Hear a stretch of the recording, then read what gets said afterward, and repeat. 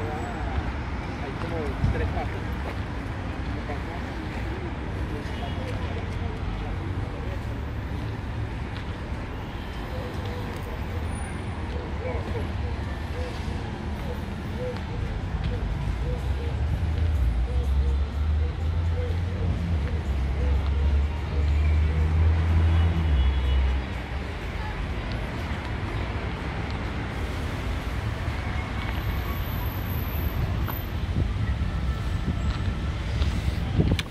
Jaha.